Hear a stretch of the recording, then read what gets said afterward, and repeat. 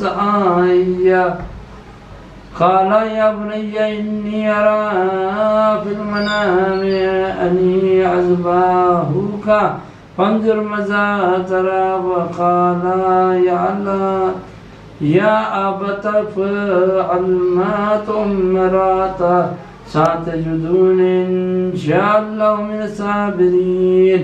فلما أسلما وتلاه للجبين وأناديناه عن يا إبراهيم قد صدقت الرؤيا إنك ذلك نزي